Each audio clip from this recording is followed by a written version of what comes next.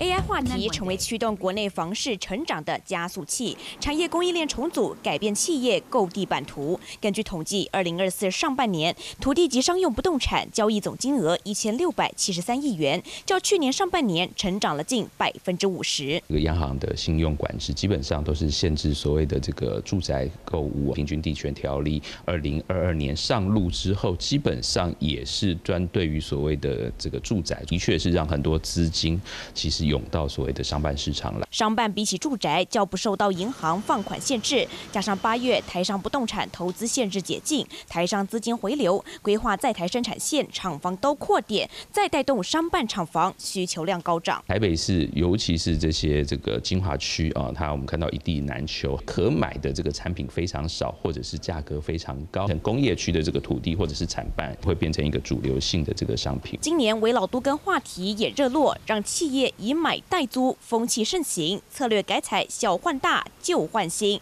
根据实价登录显示，二零二四上半年台北二十七栋办公大楼出现一级交易，总交易金额达到一百七十五亿元，租金更是看涨不看跌。各级办公大楼在二零二二年第三季全面突破租金每平两千元大关。商办的都更案要是其实进行的时候呢，商用不动产市场就会处于一个相对供不应求的情况。也尽管央行限贷令也让住宅买盘稍微冷静，但激情尚未退散，带动商办成为大户们投资的热门标的。三立新闻陈世雄、李佳倩台北报道。